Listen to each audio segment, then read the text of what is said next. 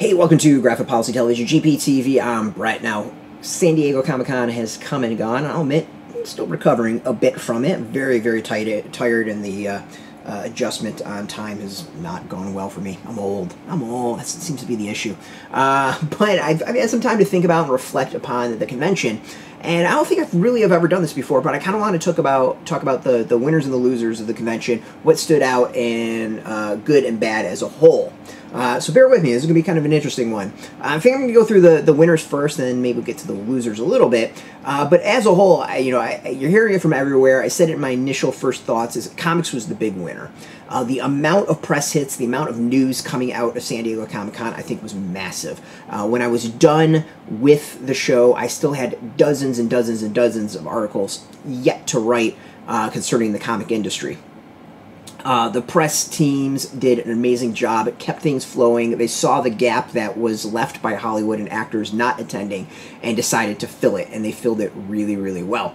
Uh, there was news that broke. Um, there was interesting panels, uh, and they took advantage of the comic creators having buzzworthy signings, uh, giveaways, and more. They did an amazing job. Kudos to the whole industry. And I have to say, you know, this includes publishers, creators, and fans. Everyone is a winner uh, at this year's Comic Con. It really showed the comics in Comic Con uh, and showed what happens when you know comics needs to step step up. They do and can and can uh, can make a hell of a lot of news. Uh, so hopefully they uh, in future years will um, give a nice big giant middle finger to Hollywood and uh, tread upon their path. Uh, usually in the past, um, my notice and my opinion is uh, I would get a lot of press and news before the show, and then the show itself would have been pretty quiet. Uh, this year, the, the news was pretty consistent throughout the show. I mean, I'm probably 100 plus uh, stories just on comics from the show. Um, the other is interesting is is obviously loser is going to be uh, the uh, the studios and the actors not showing up. Um, not really calling actors losers, but they, they lost out because they couldn't do the promotion. Uh, but I would give a lot of credit to Star Trek. Uh, as a property, they had a, a lot of shows uh, out right now that you know need to get the fans excited, and they did that. They did that with uh, a lot of announcements, a musical um, episode was announced and they released uh, a bunch of videos. I think they showed that you can promote properties without the actors and do it really, really well. There's another more that I think did that as well, uh, and that is uh, Hulu, Hulu Animation specifically. Uh, they did a lot of prep before the show to get uh, press interesting, and they um, definitely created buzz for Futurama, which has returned uh, with their giant Planet Express building as well as their little drone show, which I think sealed the deal. Uh, all I think who basically Hulu Animation and Star Trek showed you can promote properties without the actors and do it really, really well, and not also and also not come off as assholes. Um, I think they did it in a very tasteful way and did it really, really well. Um, winners, since you know the actors and the films weren't there, is floor and panel. The floor was really, really busy in a in a good way, and panels were packed. Whether or not the panels took place in the convention center or outside, they were busy. They were packed, uh, and and everyone I talked to seemed to be really, really happy with that, and seemed to have a really good show on the floor, selling items, getting um, uh, lines to do um, autograph sessions, and all that. Um, and I think the other interesting is though the floor was busy, it didn't feel quite like uh, the traffic jam shit show that it has been in the past. Uh, without the actors on the floor, and without, I would say, as the studios and the the, the promotions they sometimes do, uh, there wasn't as many choke points and traffic jams as we normally see. Uh, and to me, that was really fantastic. Though there were a lot of lines, there was a lot of booths that were busy. Good thing. Uh, it wasn't due to just actors showing up and people stopping and snapping photos. Um, you know, overall, I, it, it, was a good experience. I think this was kind of almost the ideal floor, if that makes sense. Uh, Invincible as a property, I think, did really, really well.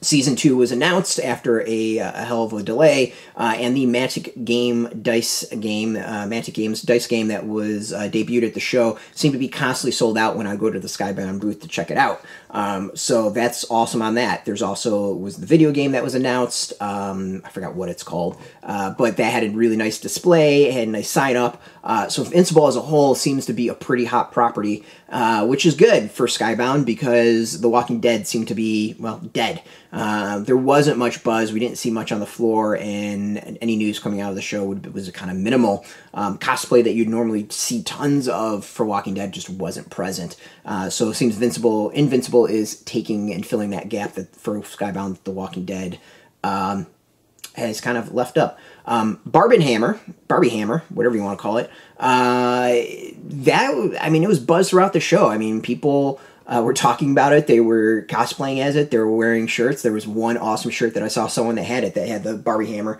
across, and I kind of wanted it. Uh, this this had fun. Uh, there was a fun aspect to it. People kind of talked about it and, and really seemed to be interested in a good way as to how the weekend box office was going to go between those two. So um, kudos to all of them. It, it, just really, you know, there's a lot of talk leading up to it. There's this competition, but in the end, it seemed like a, a lot of fun. Um, speaking of fun, Junji Ito and uh, Makoto Yukimura uh, both had a hell of a show. Uh, Junji Ito had a release of his new uh, collection, uh, Soichi, which was constantly sold out at the Viz booth, and then uh, Makoto, as well as having a, a art display um, that was a hot, hot uh, thing for people to go to. There was a lot of people posting up photos about it. Uh, there was art on the floor as well that they were checking out. So uh, uh Ito's popular uh, as well as as he should be. Um, the one uh, interesting, I've never read Vinland Saga, so I don't really know Makoto Yukimura very well. I want to check it out now. It was um, a beautiful booth which showed off the art, which was really cool, and signings that were really, really well organized. There were hot tickets that a lot of people wanted uh, that were limited. Props for that signing. It was really well done. Uh, was not out of hand, and I think organized really well. Uh, Transformers was buzzworthy. Not only did they have a, a, a popular panel uh, with the hot hash scan release, there was a lot of debuts from Hasbro. Uh, Transformers back as a hot property, not just in toys but comics as well. Uh, and I would say toys as a whole were really hot uh, properties. Super Seven with their Thundercats uh, were really really popular. Funko was constantly busy, and we have some cool stuff with Funko coming up.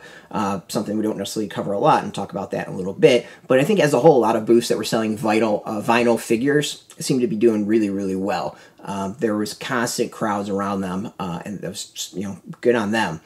Uh, the one movie I think that that did stand out and did well was Project K slash Kalki 2898 AD. Um, I received some some teases about this leading up to it. Uh, was didn't get a chance to be able to go because it was it conflicted with other stuff. But it is uh, a film that's going to be coming out um, from I guess Tollywood is the term.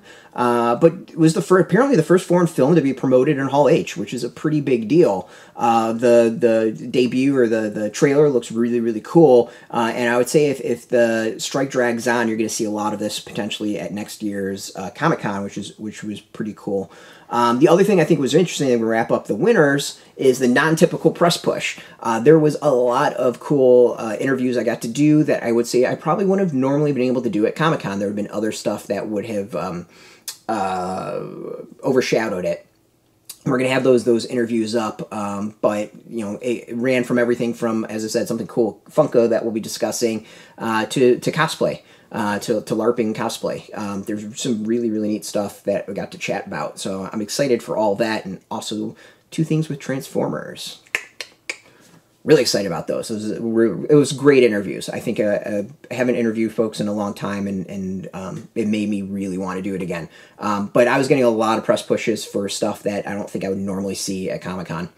Uh, the unknown, which I'll put in the middle, is tabletop games. Uh, they've always kind of been this really um, also done at conventions. There were some panels uh, which was awesome. Gloomhaven was on the floor, and the Invincible Dice game seemed to, seemed to be a hot item at the Skybound booth. Um, San Diego Comic Con is always really close to Gen Con, which I would know, which would make it really difficult to do both shows. Uh, but I'm wondering if Hollywood stays away next year, if it is worth you know putting in the effort and the time, and maybe trying to fill in a little bit of the gap uh, at, at Comic Con. I think there's uh, there's gold to be struck potentially if you know what you're doing. Um, very different show though, and I know um, game conventions or game tend to have to have a lot of space to show off their games. Um, they they do do demos on the mezzanine, but not many people know the mezzanine exists. Uh, so beyond Gloomhaven, Beyond the Floor, the Invincible Dice game, which was also the Walking Dead dice game, was also there. Uh, both uh, were about really kind of what stood out game wise on the floor. So I kind of put that in the middle. lots of potential there, I think. Losers. Clearly, uh, movies and television. With the, with the studios gone, there was very little that came out uh, that was buzzworthy as far as that. Uh, Hall H was dead beyond uh, Project K uh, Kalki. Um, no news, I think, really kind of stood out at all um, from there. And even the lines to get into Hall H, there was not quite the the sleep outs like you normally expect. Uh, people decide to do other things. Um, cosplay also seemed to be down this year. I thought was really interesting. I didn't know notice as much as that. Uh, and I'm not sure if it's at this show or kind of as a whole, but maybe cosplay the the cosplay fad is, is dying a little bit. Um, going into the cosplay being losers, uh, there was a rumor of a cosplayer as Ahsoka who was COVID positive that was still attending the show uh, and not staying isolated. So screw you, Ahsoka, cosplayer, whoever you are. Um, that's not cool. Um, they basically, I think, ruined things for a lot of people after the show and could cause a lot of damage. Uh, and I know a lot of people are coming back positive. Thankfully, I am not. Um, also, I think losers the pop the comic publisher's not there. This was a year to strike, and there was opportunity, and it was missed. If you were not on the floor, well, it is, it is what it is. Um, so yeah, uh, Gaslamp as well. There's uh, the show on the floor, but outside of the convention, there's tons of things going on. Uh, the usual uh, Cartoon Network display uh, did really, really well um, and some of the, the convention or the uh, hotels by the convention center did really really well but the Gaslamp as a whole didn't seem quite to have the buzz like it normally does. Know there were some activations that were popular but as a whole it did not quite have the, the eye-catching uh, experience like normal. I walked through the Gaslamp and nothing caught my eye. It was really kind of uh, a muted year. Uh, and speaking of fumbling Blue Beetle where was it? There was a uh, costume that was on display, and that was about it. Um, Warner Brothers tends to kind of screw up the promotion of films at Comic Con, and I would say this was a big one. With the film just weeks away, uh, without uh, actors being there, there was still a lot of opportunity to do some stuff and uh, do some fun stuff uh, that could have been very, very creative. Uh, Warner Brothers decided to do nothing. Uh, there was some costumes from Aquaman. There was the costume from Blue Beetle, which is awesome. It looks amazing in person, uh, but promotion was was like non-existent. I thought so. While DC showed up and did an amazing job uh, by themselves, uh, Warner Brother th- and Warner Brothers Discovery uh, as a whole, I think, just utterly failed um, and is part of the loser section beyond just movies and TV. Uh, so those are my opinions. I kind of want to see what you all thought. If there's anything that stood out to you about San Diego Comic Con 2023, sound off in the comments. I really, really do want to hear this. Uh, as always, we got tons of news still coming. There's a lot of interviews I need to post up, all from San Diego Comic Con 2023. You can find those at graphicpolicy.com. Some of them will be posted uh, on various social networks on Facebook and, and TikTok, the audio stuff. Uh, you can check that out. Um, but as always, you want the latest comic news, graphicpolicy.com. We're on Twitter, Facebook, YouTube, Tumblr, Instagram, TikTok, Mastodon, Bluesky, all at Graphic Policy, keeping it nice and consistent. Until next time, keep reading those comics and keep it geeky.